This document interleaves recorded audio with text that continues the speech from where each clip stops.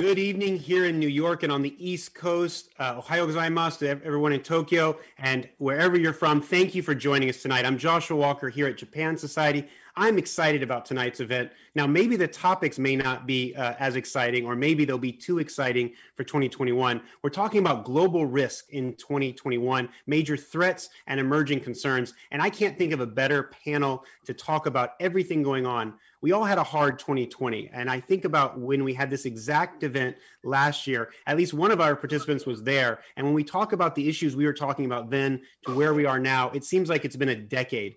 Uh, it seems that 2021 is not getting any easier. There's so many risks to talk about the current global landscape, things from what's going on in Washington to what the US China relationship is going to look like, what the financial markets have in store for us. Let's identify the major threats and emerging concerns. Before I introduce our panel, let me just quickly thank our sponsors for our business and policy program, our global leaders, including Citi and Deloitte. Uh, and our corporate sponsors, including Mizuho Financial Group and Toyota uh, Motors of North America. So let me introduce our speakers in alphabetical order. Uh, we have Gady Epstein, uh, the China Affairs Editor of The Economist. Thanks for joining us, Gady. We have Jane Harman, who's both the director and president and CEO of the Wilson Center, but also a longtime Washington insider who's a congresswoman for nine terms and has been on every security uh, affairs uh, in, in, in Washington. Thank you, uh, Congresswoman Harman, for joining us tonight. And then last but certainly not least, we have the Chief Risk Officer of Morgan Stanley, uh, Keishi Hotsuki, and also a member of the Japan Society Board. Hotsuki-san, thank you uh, for joining us as well. Uh, Congresswoman Harman, let me start with you there in Washington, given that so much of 20, 2021 has begun in Washington. January 6th obviously was a risk that many people didn't see coming. Uh, what's your assessment in terms of how we look at global risk from there in Washington, where you're sitting today?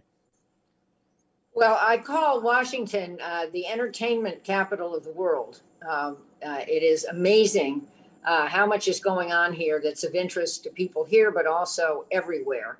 And I say that uh, more in sorrow than than in humor, uh, because I I would wish that Washington uh, were, were had returned to stable government, was making big progress on on, on combating COVID and uh, that the news stories have died down. That would be my my alternate universe, but that's not our universe. Uh, uh, the airwaves are full of the second impeachment of Donald Trump hearings, uh, and and they're interesting. I have to say they're interesting, and they follow what was a terrifying event, probably uh, the most terrifying event in my lifetime. And I was here in Washington on 9/11 as a member of Congress, as a senior member of Congress.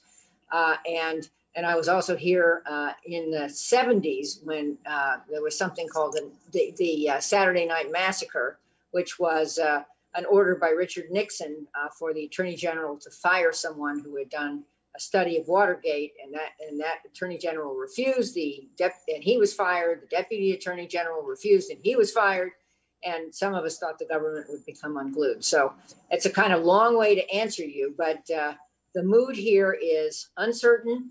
Uh, the future here is uncertain. Um, the good news is that uh, President Biden has put together, I think, a very competent uh, administration. They're not all confirmed yet, but the, the ones who are very competent, uh, including certainly our Secretary of State. And uh, I, I think that if we get through this near period, uh, that we will start to have the boring uh, improvements that I that I'm hoping for.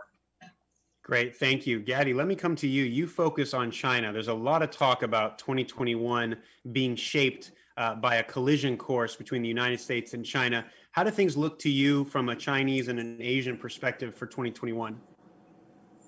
Yeah, I, well, I think the good news is I, in terms of like uh, steering towards a conflict, uh, I I don't think China is operating on a timeline of trying to trying to create trouble in 2021, um, at least not to the level of uh, where you where you'd have a crisis. But uh, but the bad news is that that that China's been increasing its provocations kind of in all directions uh, in the region, in the East China Sea, uh, in the South China Sea. Uh, it is its activities have uh, increased with respect to the Senkakus, Taiwan, um, and in South China Sea, even even sending uh, you know submarine surveillance drone into uh, Indonesian waters, uh, upsetting upsetting Jakarta. Uh, and this is both in the waterways, um, in airspace. Um, you know, there, a lot of people probably haven't heard of a little island called uh, Pratas, and I hope I pronounced it correctly myself. Um, that's uh, belongs to Taiwan. It's actually closer to Hong Kong than to Taiwan mainland, and it's it's a couple miles long. It's home to more, probably more, or certainly more lobsters than Taiwanese uh, humans. Uh, it, it, stations about 500 Marines. Uh, but a few days after Biden was inaugurated, China sent in uh, aircraft on January 23rd and 24th, like 11 aircraft on the 23rd, 15 on the 24th. It happened to be when uh, the USS Theodore Roosevelt Group uh, was transiting in the area, and those aircraft uh, reportedly simulated uh, missile attacks um, on the group. Now, of course, this is just you know just an exercise, but it's the kind of uh, provocative exercise that China has been doing more and more of in the region. And uh, that certainly increases risk, um, even if it's not uh, backed by sort of any sort of near-term intent. Um, and hanging over all this is what is what does China want to do with respect to Taiwan?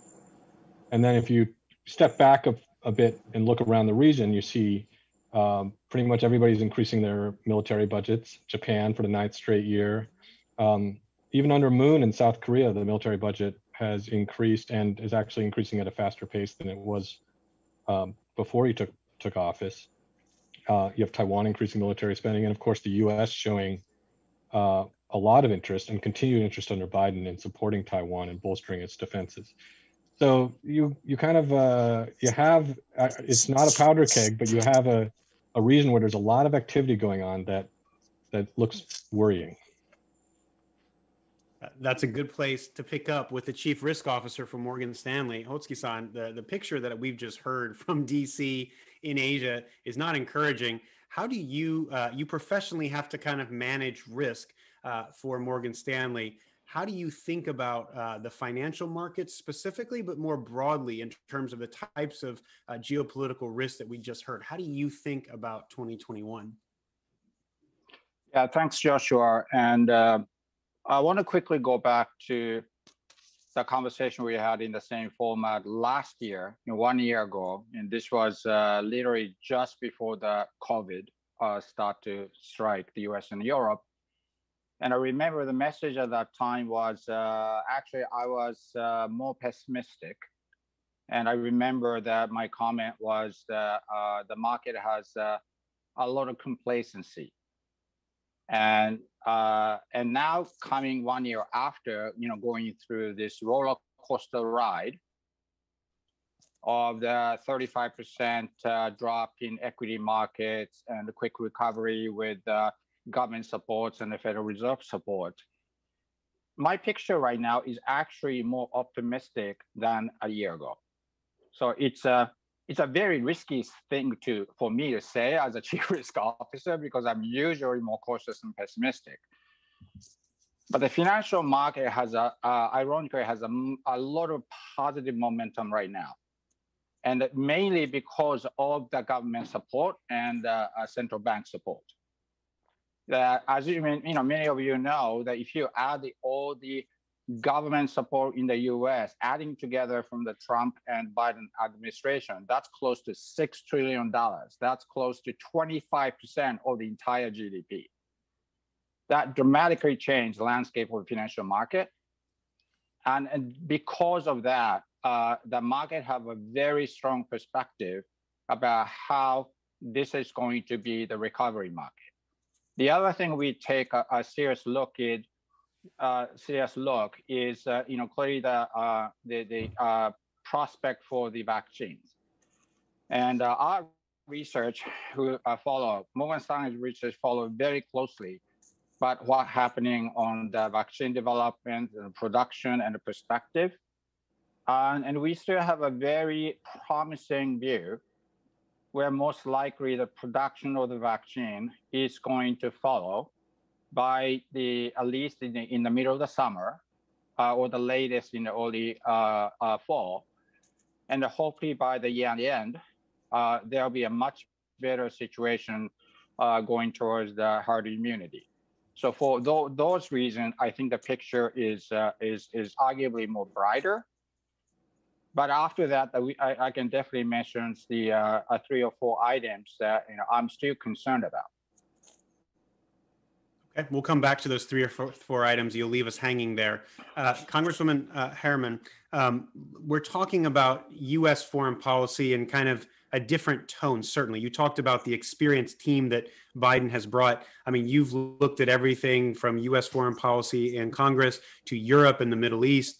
What's your what's your view of kind of the world that the Biden administration has inherited? Uh, giving advice there in Washington, how would you prioritize the risk from a U.S. foreign policy point of view uh, moving forward?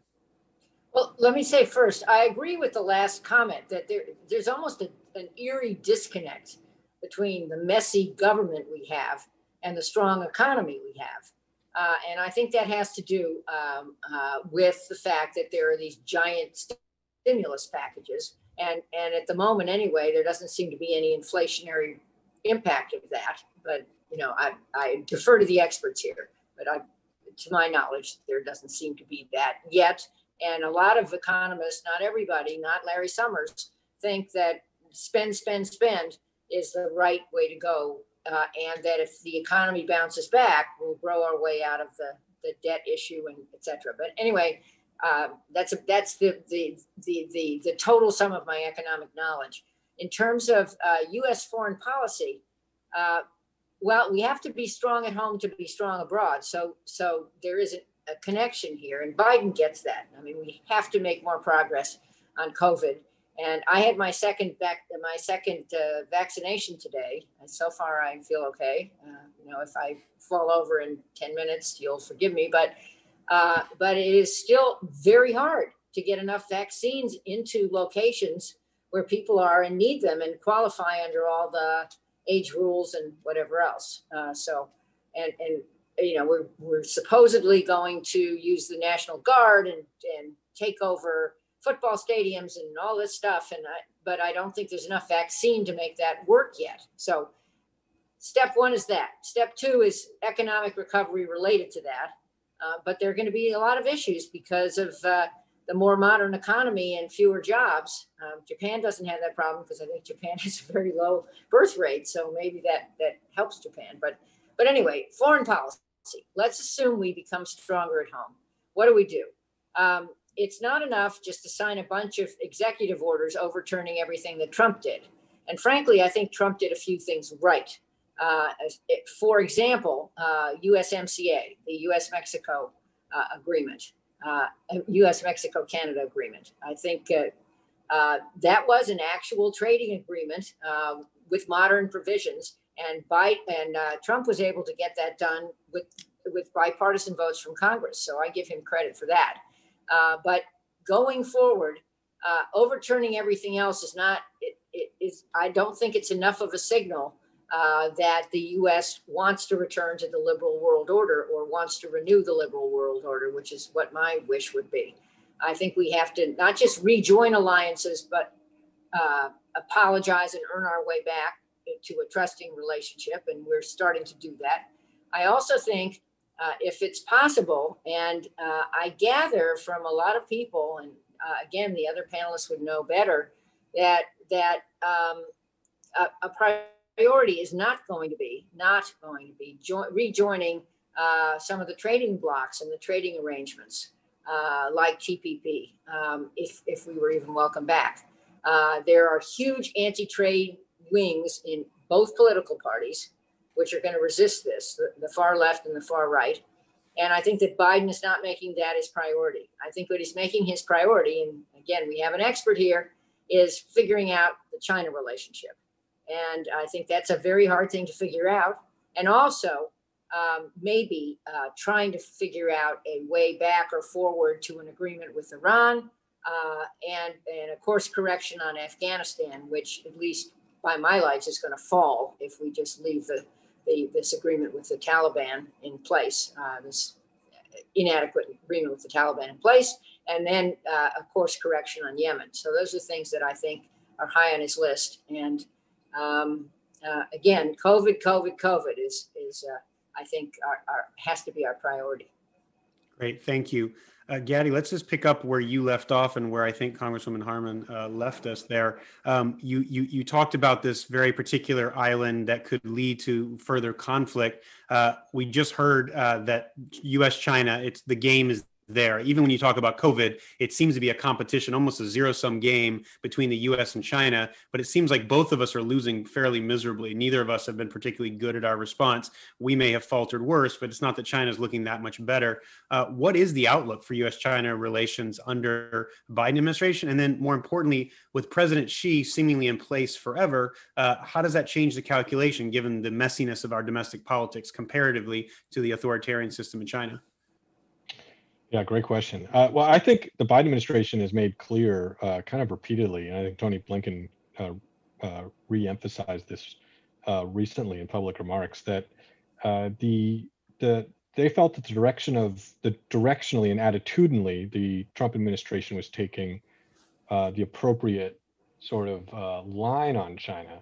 It's just that it was going going about it all wrong. That's their that's their view, and that, and that's what uh, you know, I have felt uh, talking to them in advance of taking over in this administration is that their intention uh, was to kind of blend uh, a Trumpian approach or attitude uh, with real strategy, and that starts with mm-hmm. alliances. Um, uh, and I think I think the good news about the scenario I laid out earlier, the worrying scenario I laid out earlier, is that China has a good a galvanizing effect um, in the region um, on on other countries to get along. Uh, and I think there's there's a lot of incentive uh, for for almost every neighbor in the region to talk more with the U.S. Uh, and for the Biden administration to engage uh, with them. And that is clearly a priority of the Biden administration to work with allies and trying to rebuild trust with allies yeah. around the region. So that's that's actually the good news. Um, in terms of direct U.S.-China uh, relations. That's going to be really tricky. And uh, we've just written about that um, in a couple different ways uh, this week and some prior weeks. It's really tough to to work with a country that you're also uh, uh, calling a you know genocidal actor. so it's going to be tricky. I mean, the Biden administration, Joe Biden himself, has made clear that he's placing values at the center of his foreign policy. At least he said that publicly.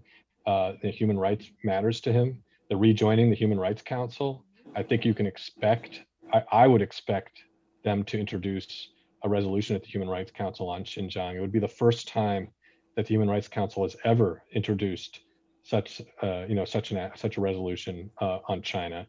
Uh, and what I was told by other members of it is that it takes it would take U.S. leadership to do it. So you know, U.S. is kind of the only country that that actually historically uh, has been willing to kind of stick its neck out, uh, standing up to China on human rights in this in you know recent years. And I think that's going to continue to happen, um, and also with sincerity from Joe Biden, as opposed to, of course, Donald Trump, uh, you know, privately assuring uh, Xi Jinping that to go ahead and uh, build the camps in Xinjiang, and uh, and essentially giving him a green light in Hong Kong. So, but so that's that's great news in terms of values.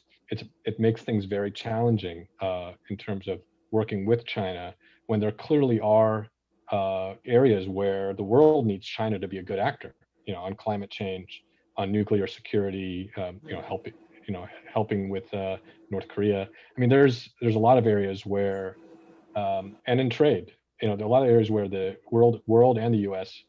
Uh, need and want China to be a, a, good actor, and I think a lot of that's going to happen. Uh, you know, whether or not it happens is going to be because China perceives it to be its in, in its own interest and maybe that will be the challenge of the Biden administration to, to help China see its own interests in those areas while still trying to hold it to account uh, for you know human rights atrocities. Okay. Hotsuki-san, you, you left us in suspense of the three or four things you're worried about, but also uh, I'd love uh, you to weigh in on some of these bigger risks that we're talking about and how it how it affects your outlook and how you think about um, you know, from the private sector point of view, the disconnect we've talked about between the financial markets versus the geopolitical world, and and perhaps a lack of leadership more broadly in the democratic world, not just in America. Uh, we see it in Brexit. We, we we're kind of we've got a leadership deficit. It feels like. How do you think about this?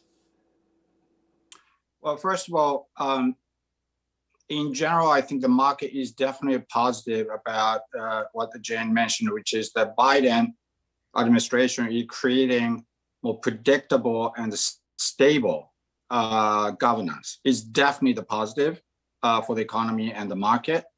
Uh, but going back to the point I want to address as a, as a potential concerns, uh, again, none of them is an immediate concern of uh, you know considering significant market correction. But I think uh, in the next uh, two years, uh, I think this is the, these are the emerging concerns uh, I, I, was listing. So uh, I'll call it as four C's, the you know letter C's.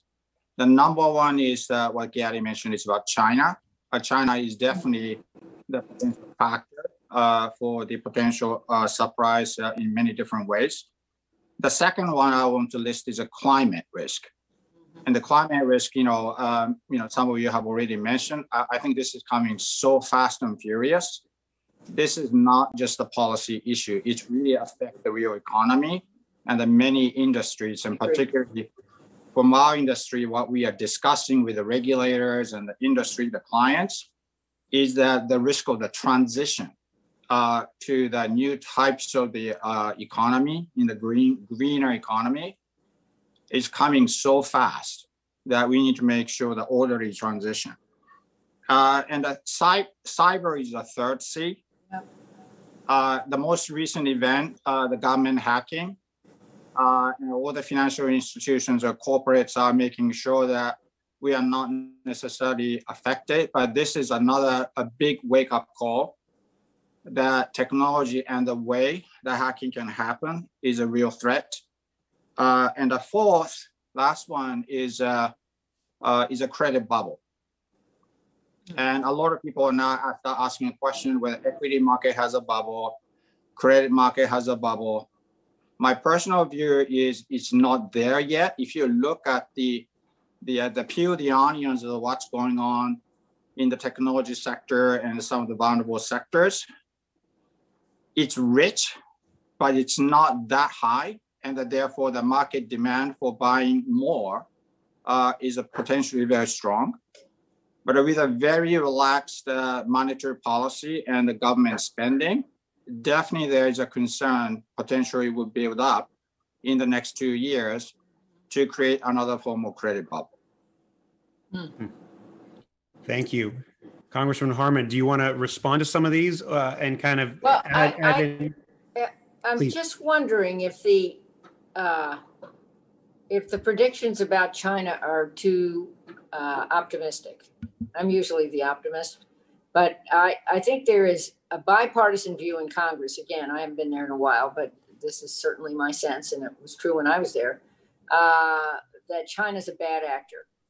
It doesn't have to be fair, but that's the view and that looking forward to China as a trading partner, uh, you know, a, a, good actor trading partner is is is uh, a little too too uh, optimistic, and that I think we're better off thinking about how we compete with China without going to war with China. That would not be my, my recommendation.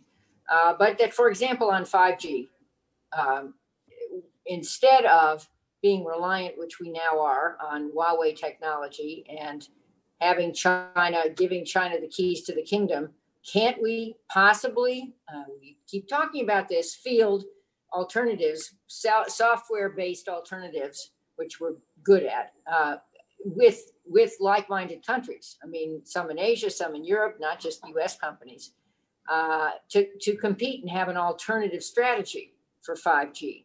Things like that. I think you know, I, I just don't see a good outcome if we don't do that. And um, I, I, so maybe I don't understand this. I, I'm sure I don't understand this as well as you do, but but that would be one thing I would say. Um, I I do think you know I, I'm glad you agree that Biden having a competent government does matter, and that I also think that government will, in addition to restoring alliances, develop a strategy for making America, my, my idea of what the Biden doctrine should be, I think it would be nice to have one, is making the, the US the indispensable partner, partner, not country, partner uh, in the world. and we can even be China's partner, and we have to be on climate, for example. I agree that you know climate doesn't have boundaries, and we also have to figure out how to be China's partner on pandemics, not just this one, but future ones. And I don't think China has been open, and I don't think it will be open on the on the origins of this particular uh, coronavirus. Uh, but so I, I guess I'm more, and maybe this is, maybe I've evolved or something because I was uh, voted for permanent, you know, uh, trading status with China in the late '90s when, when I was in Congress. But I now think I was a little bit naive. Hmm. Gady, you want to pick up where, where, where the congresswoman left off there?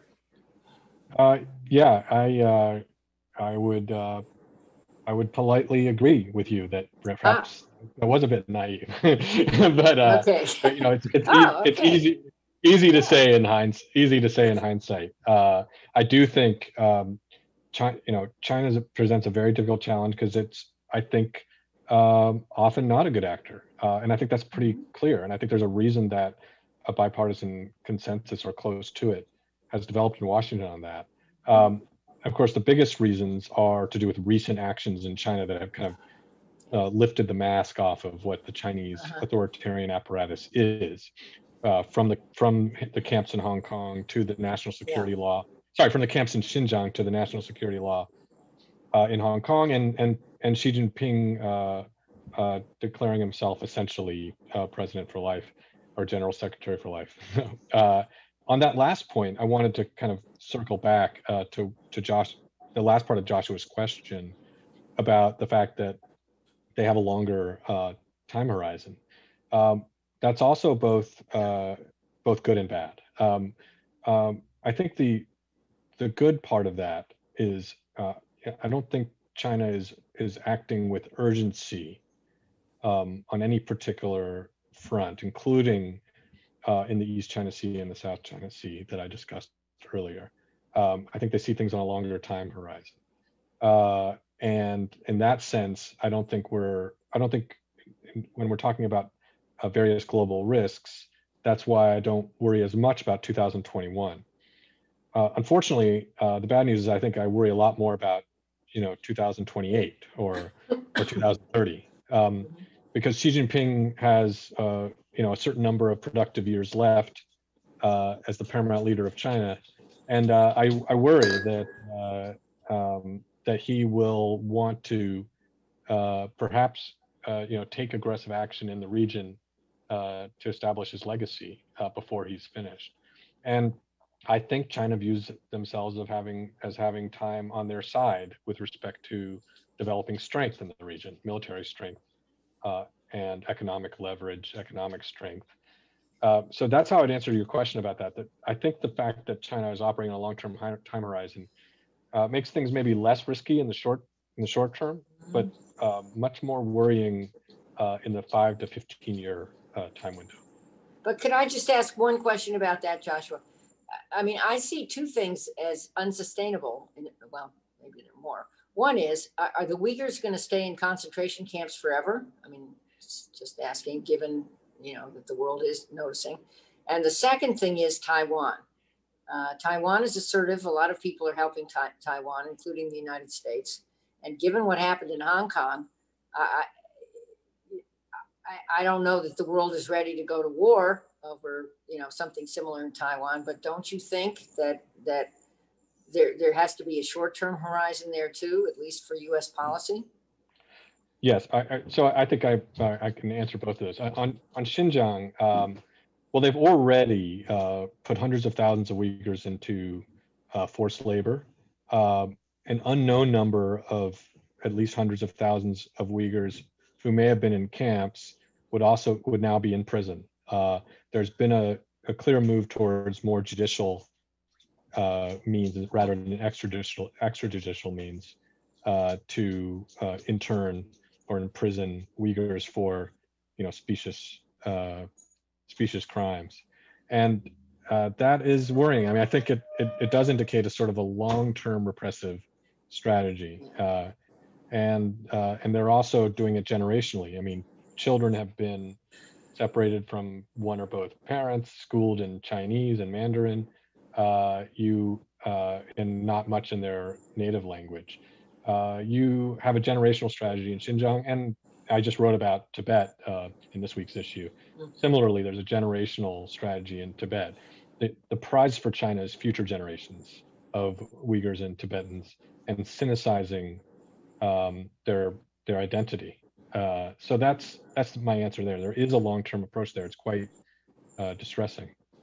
Um, on Taiwan, uh, you're quite right that there is a need to be paying attention to it uh, right now. Uh, I'm just what I was saying with my remarks uh, a second ago is just that I don't think I don't anticipate you know some sort of aggressive action for, regarding Taiwan, you know, in the very near future. But clearly China has made clear that it's Taiwan is a priority for them, uh, strategically long term. For you know, that's it's long been quite clear, uh, and I think uh, it would be uh, uh, important to Xi Jinping's legacy if he were to able to claim uh, to incorporate Taiwan into the People's Republic, and that means I do think it's quite possible to to see invasion of Taiwan you know, I don't think it's too dramatic to say that that's a possibility in the next 15 years. And uh, and the U.S. needs to be U.S. policy needs to be oriented around that, and it is it is oriented around that. The island I mentioned earlier is an interesting case. Uh, I think it's an example of what China likes to do right now, which is test and probe. Um, you know, test and probe how people, how other countries and other military forces respond to their actions around the region. That's true with the J- Japanese self-defense forces in the Senkakus. I mean, I've I've seen reports just the other day of uh, Japanese pilots are exhausted from all of the um, incursions into into Japanese airspace, um, and it's true um, in the South China Sea as well, uh, where they have you know upset the Philippines with their kind of empowerment of the Coast Guard. You know, they recently just sort of essentially legalized the use of force by their Coast Guard, um, and the so the the uh, in with with Taiwan with this you know sort of unoccupied or a very barely occupied island, you wonder would would they go further than exercises um, with a strip of land? Um, you know, they have shown an interest in unoccupied rocks in the South China Sea and the East China Sea before. Uh, I I don't know whether they would do that. I think the fact that time is on their side indicates that they're going to build up their capabilities over over years. And uh, I think over the last 10 years, they've already gotten to the point where I talked to a uh, to a war gamer about a year ago about this, who said that you know they in their tabletop exercises, you know, five years ago they would have anticipated, assuming a U.S. intervention when China invades Taiwan, they would have anticipated that China would would would fail. Now, uh, not so certain. Uh, they, you, you would think that China could succeed.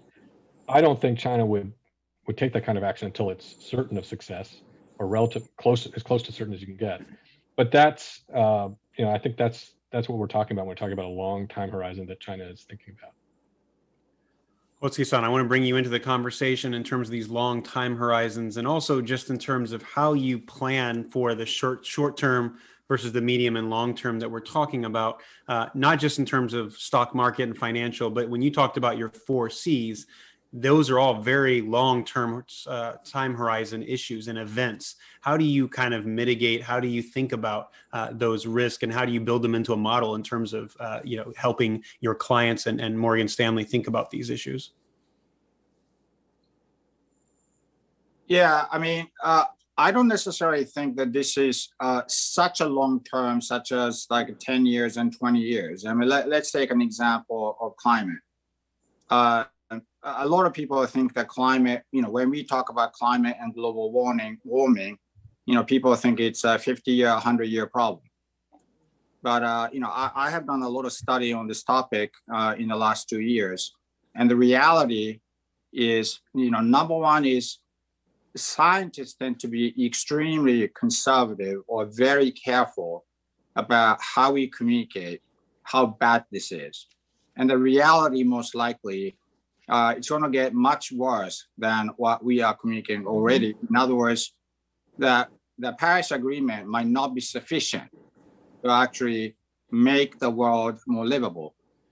So the, the reality is, I think in the next five, ten years, uh, many organization has to make a dramatic change to reduce the fossil fuels. And if you think about also that from the scientific perspective, there is a plenty of energy available. It's called the sun. So it's not a lack of energy. It's about how to actually build a technology, a technology to use that. Plenty of energy is available. So from that perspective, I think that a lot of firms start to really realize that this is the next 10-year issue about how to make that transition. And if you look at the equity markets, uh, and the fund managers like a BlackRock and Morgan Stanley's and so on is already paying so much attention on ESG because there is a, a live or die question coming to many of the organizations. So, you know, that's just one example that the time horizon for this kind of transition is much shorter than the, what people are anticipating. Therefore, at the Morgan Stanley, that we actually try to plan ahead to think about, you know, how to do the stress testing around the certain sectors. Uh, uh, if the Biden administrations and other uh, countries agree on, uh, uh, uh, um, you know, creating the new carbon tax regime, which like most of the scientists that, that argue that that's the best solution to actually fix the global warming, warming problem, it's going to be a massive shock immediately into the oil industries and other places. So I think in many of those things, I kind of agree with uh, you know Gady about I'm not necessarily worried about 2021, but that there's a plenty of things that I listed, you know, which can be a much bigger impact than the people are assuming in the next three years or maximum five years. And when we talk about another example, the credit potential credit bubble, you know, I, I make one point about, you know, why I think that this is not the credit bubble yet. So if I go back to the pre-COVID, and one of the market indices that we see is that what's what's the credit spread over the treasury for investment grade credit, and roughly that was uh, 95 basis point. And at the peak of the uh, uh, you know COVID situation, that went uh, as high as like three 370 basis points. point and now it's back to the 95 mm-hmm. or 93 basis point it's approximately the same level uh, before covid mm-hmm. but why this is the right level or not so you know tight level because the government is saying to the market whenever some challenge due to the covid happens and corporate may go to default they actually support those corporate. They are buying the corporate bonds. That's what they're committing to. Mm. So I, if I'm a rational investor, the credit spread should actually be tighter than pre-COVID, because basically you are getting the government guarantee, mm-hmm. and that's why the market level is still not that crazy, and they can go tighter. Right. But once it get tighter, a lot of economists and a lot of market participants start to worry about what the people call zombie companies, right? Among the uh, all the complexity of the COVID influence, there are some companies which might have to go down, but they are still surviving. And the definition, official definition of the, the zombie companies are that the company who cannot pay the interest payments based on their cash flows. And a lot of, I mean, the, the Gady's uh, um, uh, magazine Economist, uh, you know, does a lot of great analysis about how many or proportion of the zombie companies in the US in particular is increasing. So that has to be a drug in the long term. But at this point in time, that's not necessarily a concern. It's a potentially the future concern to drag down the growth of the US economy. Great. So let me, we're getting a ton of questions, and I really want to thank the viewers. We're getting tons of questions. I want to get to their questions because there's some great ones here. Uh, but before I do, let me just ask one one more round uh, and then start incorporating the question. Uh, Congresswoman Harman, for you, um, this is the end of an era in some ways. You know, I think many people know you're going to be stepping down from the Wilson Center. You served nine terms in Congress, so I want to ask the big the big question: um, What what has the last decade and more broadly your time in washington taught us about risk. And, and what are the lessons you've learned that you would impart uh, to the new generation as they they have to confront some of these really big risks? I mean you said at the top of the show this is the the the, the most significant event you've seen in your lifetime in terms of the january 6th division in our country and kind of uh, sitting president you know, inciting, uh, you know, what ended up happening and not accepting the election results. Um, is it only going to get worse from here, or is there some hope or something you can you can leave us with?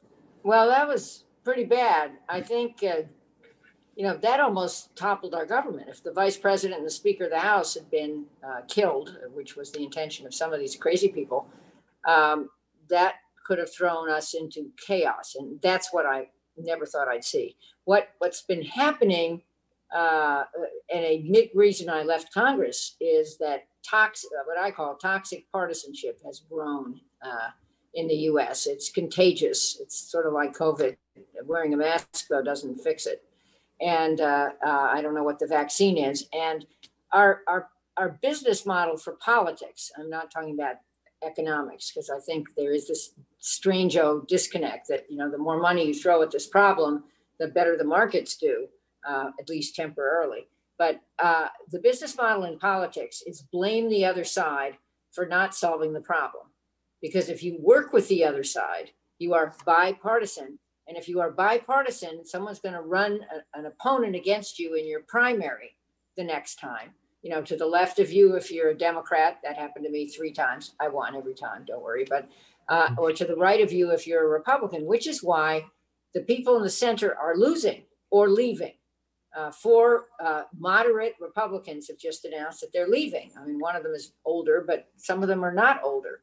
Uh, they're just, you know, frustrated. So if there's no center and the business model is blame the other side, and you put your reelection ahead of your country, which is what I think we may see in some votes in the Senate uh, whenever the votes are on uh, whether to convict President Trump, um, the, the prognosis for solving problems is poor, poor. And I said, you know, foreign policy by executive order is not is not a, an adequate uh, an adequate outcome. So, uh, you know, what do I see? Um, sadly, you did ask uh, that the risk of not solving problems increases.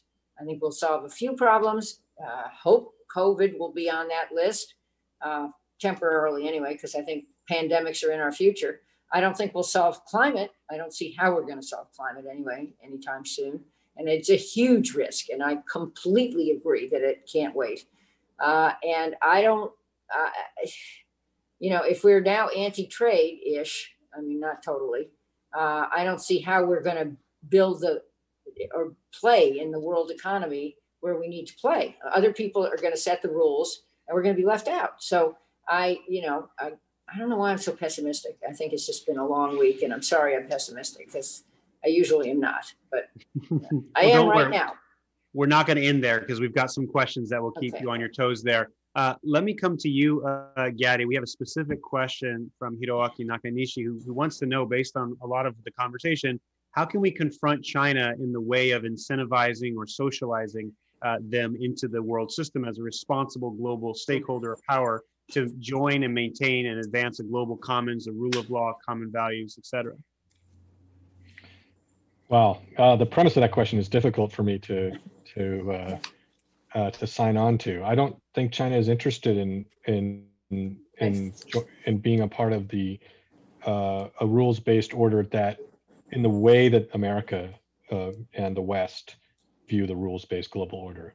Uh, China is trying to change uh, the global order and the rules uh, to make to sort of make uh, make the international system uh, more more amenable uh, to how China behaves, uh, both in the region uh, and inside its own borders. Uh, that has been the the trend, uh, especially more aggressively under under Xi Jinping. Uh, so uh, I kind of question the premise, which is a pessimistic way to answer the question. Uh, I think uh, you know this is as I talked about. Um, it bears repeating that uh, this is going to be the challenge of the Biden administration and other countries around the world. How do you deal with um, a, a, the second largest economy, a country with massive influence around the world uh, that uh, behaves in ways um, that are uh, actually, you know, abominable, um, and uh, but you still need their cooperation. You need them to be a good actor on major issues like climate change, um, like uh, the like pandemics uh, and future pandemics, as Congresswoman um, Harman just uh, just mentioned correctly, uh, on nuclear security.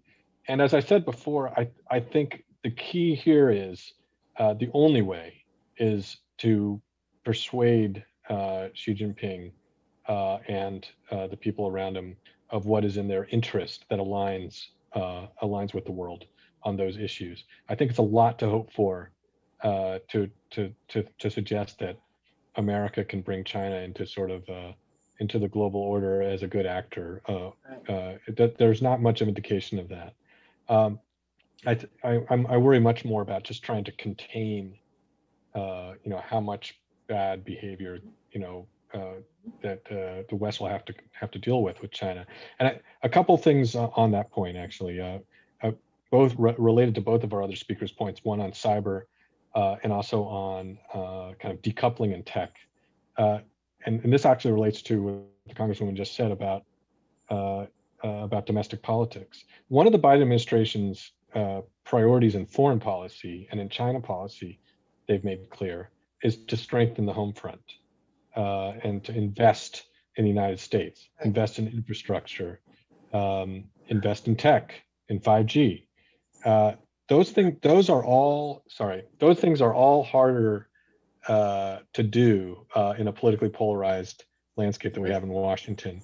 And when you have, you do have a right now a Republican Party that, as when uh, President Obama came into office, uh, similarly was determined not to have, not to let um, the new Democratic administration claim successes. Right. So I th- I think that's going to be uh, you know President Biden's already uh, quite made clear that he recognizes that challenge and that he wants to try and find um, ways to work with Republicans, and if he can't, then they will pass. They will work to pass um, you know aggressive initiatives, uh, ambitious initiatives, if they need to without the Republicans. But with a filibuster uh, in the Senate uh, with a narrow uh, 51-50 um, majority with the vice president casting the deciding vote. That's a very tall order. And if you can't do that, then you have um, uh, then you have, I think, long-term concerns about our infrastructure, our tech infrastructure as well, uh, which I think um, is vulnerable on uh, on the cyber front.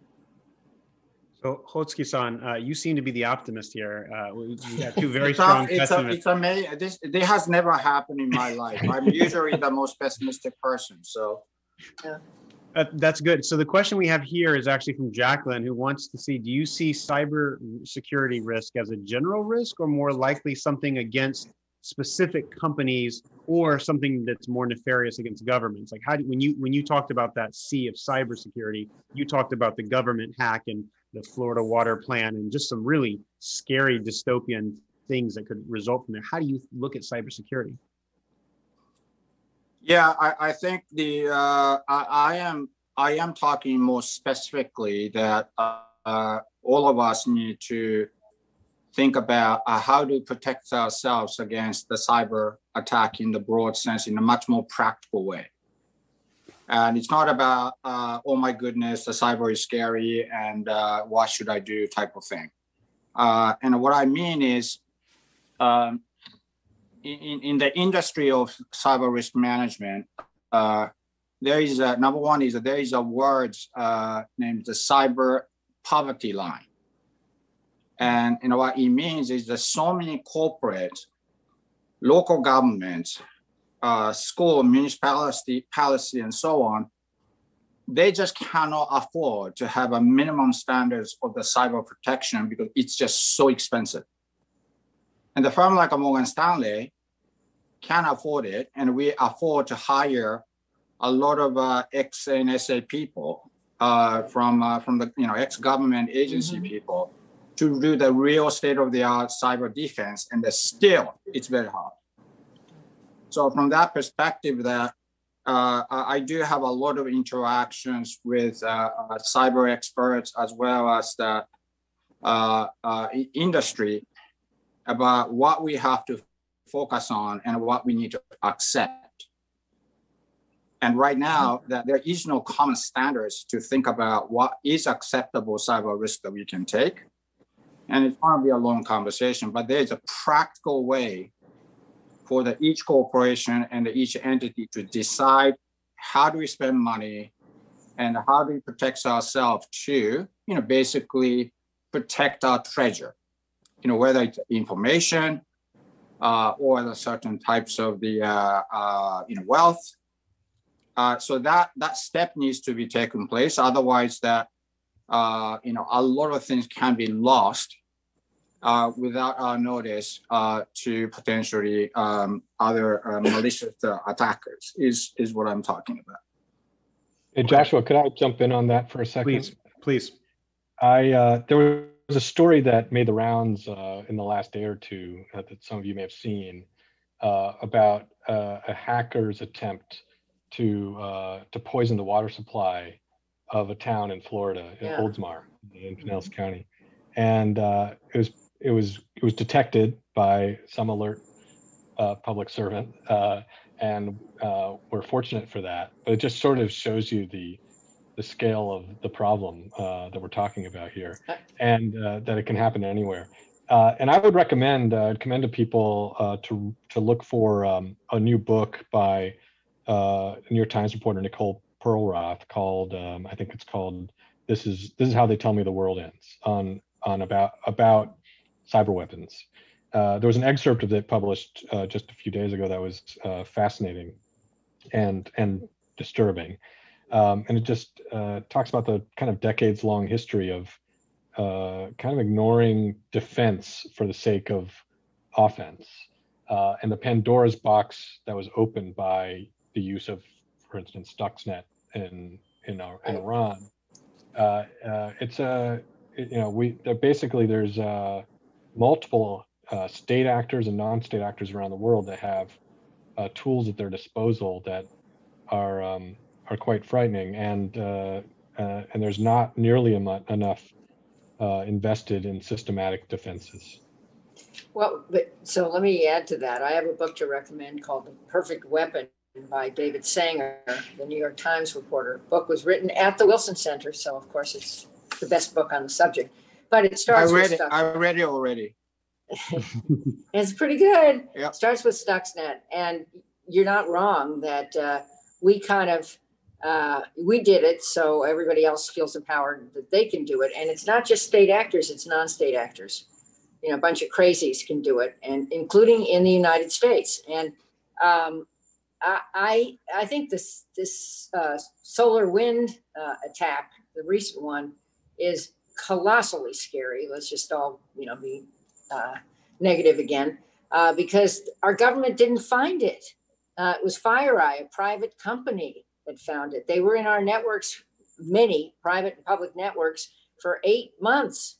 And it is also true that to do cyber, you have to be in somebody else's network. So the, the chance of miscalculation, people thinking they're being attacked, when actually we're just there to defend ourselves to make sure we're not being attacked is huge, uh, which is a point David makes and uh, Sanger makes. And so, um, you know, uh, I think this whole conversation is a downer, but sorry, sorry.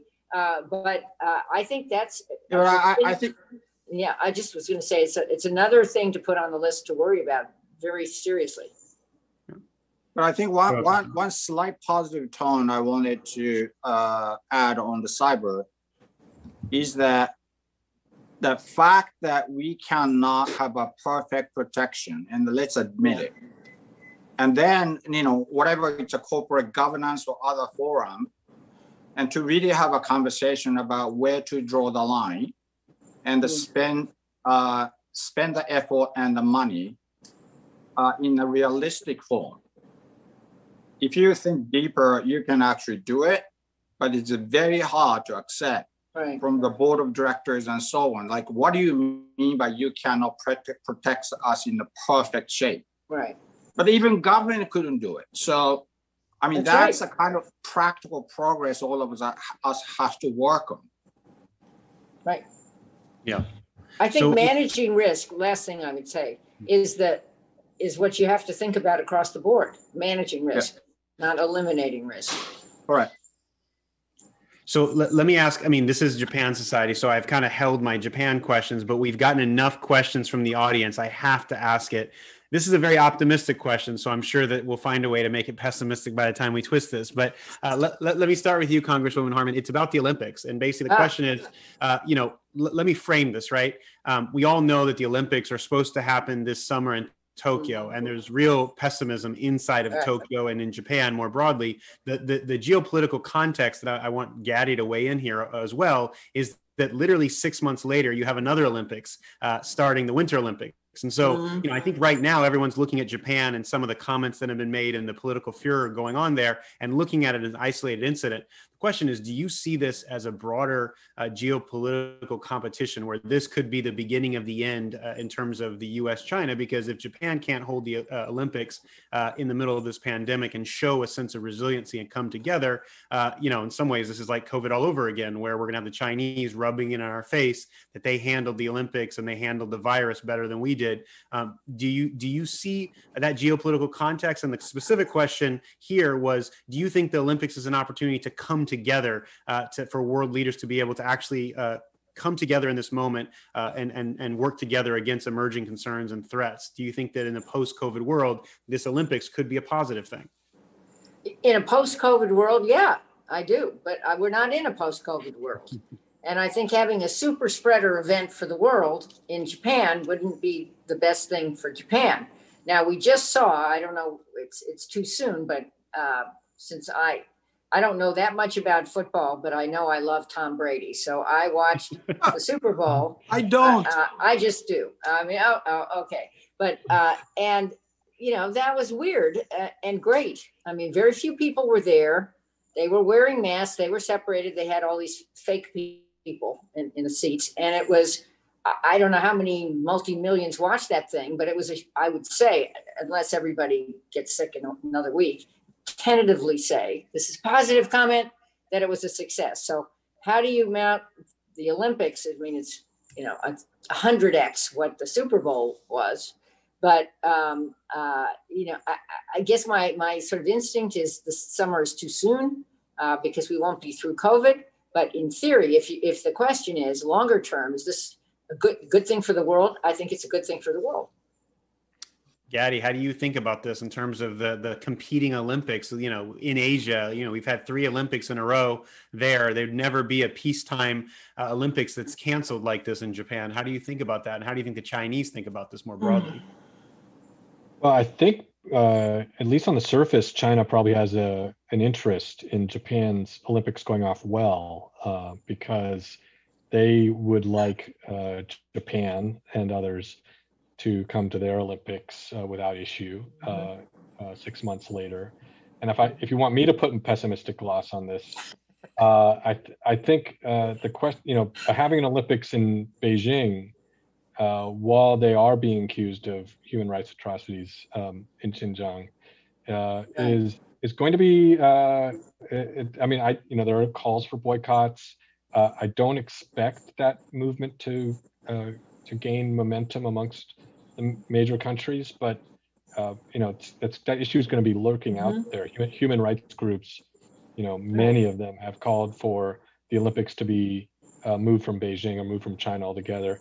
Uh, so that's sort of the back, the political backdrop there. It's kind of hard to, to to think of it as a as the whole world coming together uh, when you have uh, when you have it set against those human rights abuses. Yeah.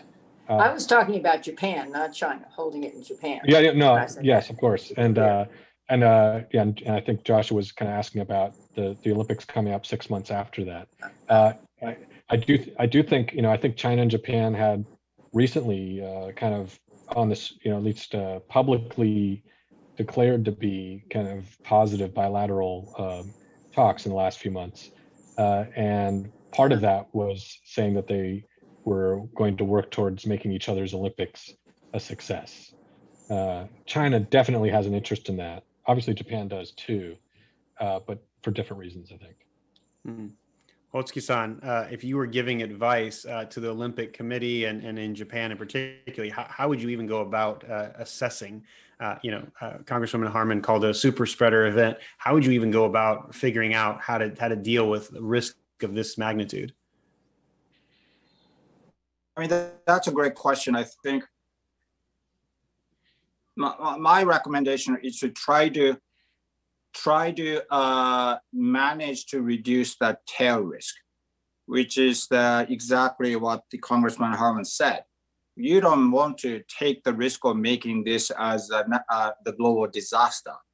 Right. And therefore, the question is that, well, let's move on, that we can have, let's say, no audience events mm-hmm. and, uh, you know, t- uh, cut the tail risk and try to make sure that we can actually operate like that, right? Making everything right to try to be ready for that type of event.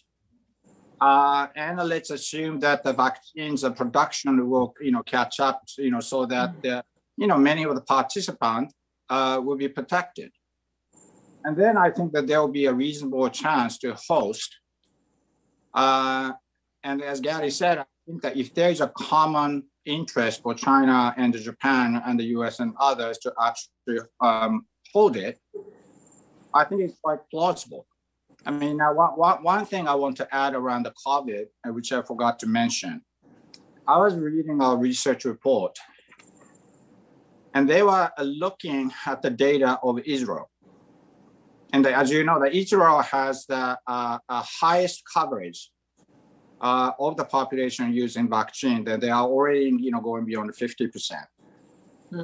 And somebody did the back testing of those that have the vaccines has already worked. And the short answer is as expected. That there was a reduction of the 92% effectiveness, you know, for the population that, that used the vaccine. So the early sign of the real use of the vaccine is actually showing and supporting the evidence from all these tests. So if that's the case and production follows, our research people, the bio, bio, you know, bio, you know, chemical research people is predicting at least for the major like G10 countries, majority of the country will most most likely have the enough vaccines by the middle of the summer. So if that is really true, then that would really help to hold the Olympics. Right.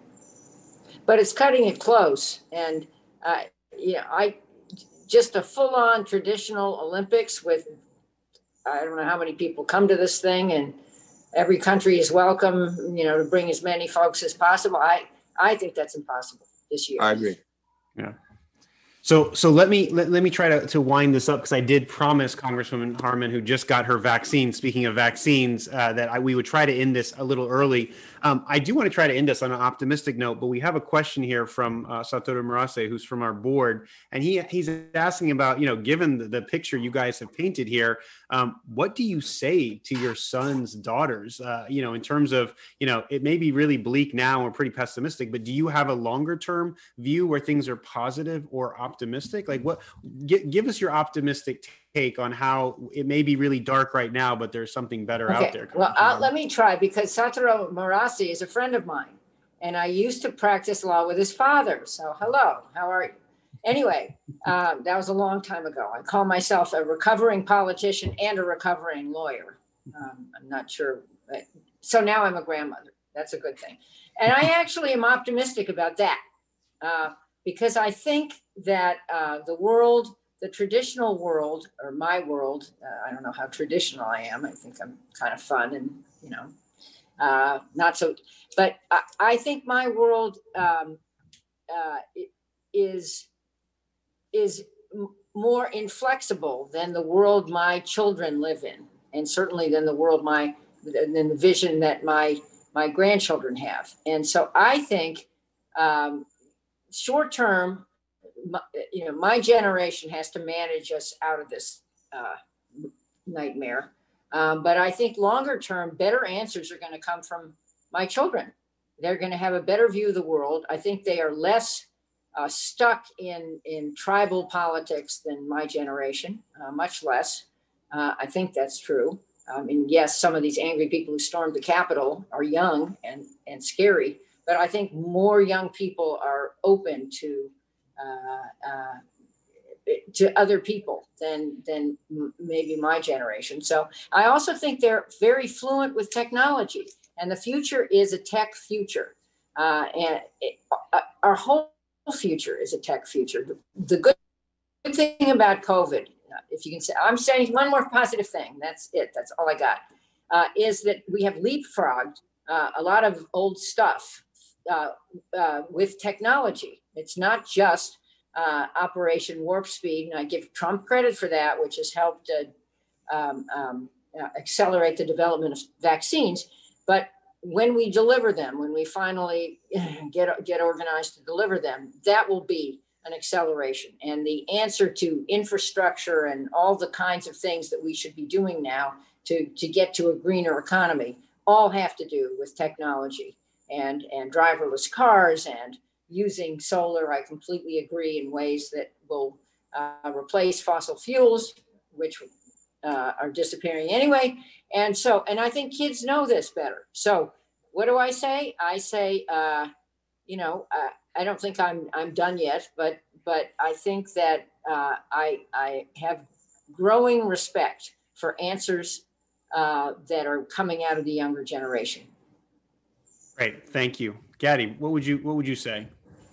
Yeah, well, I'll start that answer on a on a pessimistic note, which is we haven't really even addressed a kind of epistemological crisis uh, of our age. You know, the poisoned information environment, um, uh, and and the media poisoned media media ecosystem. So you know, online, Fox News, what have you, uh, and our inability to share a set of facts. Uh, and this is something that's also weaponized by authoritarian countries um, whether it's China or Russia um, or elsewhere. And I, I do worry about uh, overcoming that. Uh, on the other hand, uh, as the congresswoman said, I think there's a lot of hope in future in the in the next generation who are more savvy than than we are, uh, who are less naive about technology uh, than our our generations have been. And I think um, I do I do think that they can have they can they will come along with solutions with less uh, with their eyes open uh, about the dangers of technology um, and with more urgency uh, about climate change. And I, I, would say that that's that's the area of climate change where uh, it's hard for me to say I'm, I'm an optimist uh, because of you know we've there's been so much inaction for too long. Um, but I do think that we can come up with better answers as a as a human race, and I think that uh, I I have some faith in in future generations to come to to help solve those problems. But of course, those problems need to be solved like instantly right now. So there's there's a lot of work to do. Uh, yeah. So there's I have it's a mix of optimism and pessimism. I just you know periods of a, um, a major technological change always come with uh, shocks, and that's what we're going through now. The thing is that the the consequences and the uh, stakes are so high uh, that right. they're existential for the planet and uh, so I, I'm hopeful that, uh, uh, as they say, the moral arc of the universe is long, but it will bend towards justice. Thank you. Hotsuki-san, how would you answer that?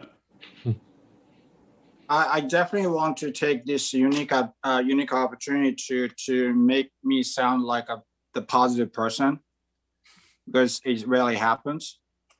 Um, but I'm actually um, positive in a sense of that, you know, we, we, we quite focus on the risk and that's why, you know, we, we have a tendency to sound negative because we are talking about the downside. But in the broader sense, I don't think it is that bad because even, you know, again, talking about climate, I, I think this is the entirely incentive problem. Once we fix the incentive, such as carbon tax, because effectively what has been going on is a free rider problem, Mhm. right? The corporates has been creating this external negative externality without you know paying any cost. The economists always say, therefore, you have to internalize the cost and you have to pay the cost that society has to pay. Once you you know fix the incentive problem, as I said, there is enough supply of energy in the universe. So I think we have to make the transition work. So from that perspective, I think that uh, we can we can find a solution. Yep. Um, and and uh, you know other stuff like a cyber. As I said, it's so scary, but uh, there, there is definitely the way to internalize and try to think about the practical solution about it. So you know my attitude is as a risk manager is, manager is uh, as others said that there's always a way to find in how to manage the risk and accept a certain risk but without eliminating it and we just need to be practical practical and uh, uh, we have to optimize Yep. and and the last thing i want to say is uh, when i grew up in japan in the 60s and 70s japan was an emerging market Mm. And now japan is so much richer. And I, I say the same thing in china. When i was in japan in the 80s and 90s i go to china I was getting knows that it was such a poor country. So despite the, all the tension and challenge we have, the whole world is getting much, much better in terms of wealth and the living standards. So if you think about this, you know, all these trends, and there's so many things that we can be positive I, I- I'm, I'm very impressed that despite the way we began with the pessimism based on discussing all the risk, and you guys have really taken us on a tour de force around the world, uh, we've kind of uh, emerged on this optimistic tone, maybe by by force. Um, I can't uh, resist but taking this opportunity to, to point out uh, that Japan, in all the conversations we just had, has a role, and Japanese have a tendency. I think Hotsuki-san Mhm. can agree with me on this to be very pessimistic and hard on themselves. And yet, I think the the comments you all have made and kind of what's going to be needed for the future, not just in this country in the United States, not just in terms of how we engage a rising power like China. All roads, in some ways, lead through a, a partner like uh, Japan, that as the third largest economy. People forget very quickly Right. uh, that it still is the third largest economy. It is in some ways an indispensable partner that we hope uh, the United States and the U.S. through its U.S.-Japan alliance continues on. So, uh, you know, I think even though we didn't mention Japan as much, obviously talking about the Olympics and others, it has a role to play, and that's why I'm so proud to be able to host uh, you all and to be able to share this conversation Yeah. uh, with our audience. So, with that, let me uh, just uh, let each person just say a, a word uh, of, of sign off, and then we'll go from there and make sure that Congresswoman uh, Harman's able to recover uh, from her shot. So, Congressman Harmon, let me let me Well- give you the last word. So far, so good. Uh, I'm still here and nothing hurts yet. Um, Japan, I mean, we didn't talk much about Japan, but I'm very optimistic about Japan. I mean, Japan's a leader in technology. Uh, Japan is a, a fascinating country. Japan picked up the reins that we dropped, mm, that President Trump dropped on TPP. And I thought that was fabulous. And could, uh, whether we join or rejoin or we don't rejoin, I think it's a huge new role for Japan. And Japan is also, you know, part of that other trading alliance with China. And so I, I think that Japan is doing a, a lot of things right. And I gather that Suga has a goal of uh, uh, a carbon-free universe by uh, 2035. I don't know whether Japan gets there, but I think that's very ambitious and and and worth applauding. So uh, my close would be um, the U.S. Um, uh, has to dig out of a deep hole, but Japan is uh, in pretty good shape. Gady.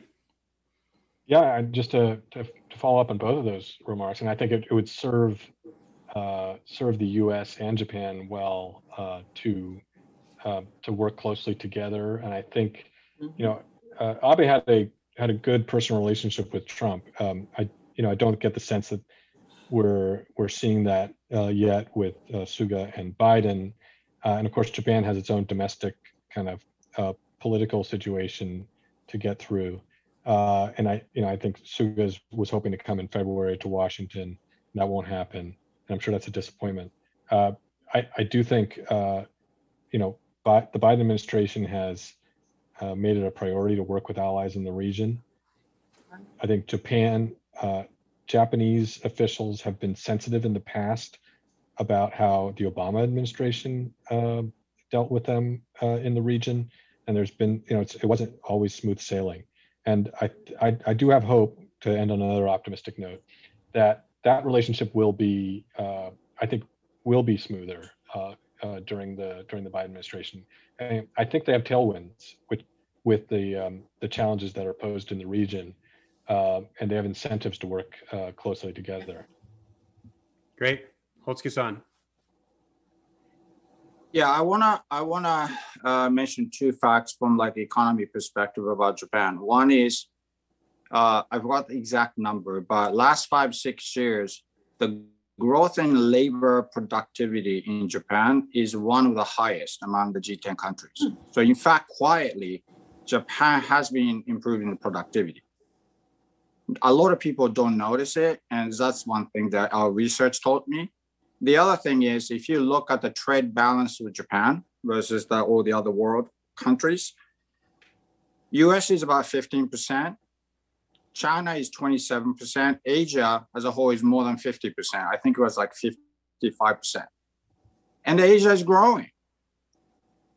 So by definition, Japan has a tremendous opportunity to grow.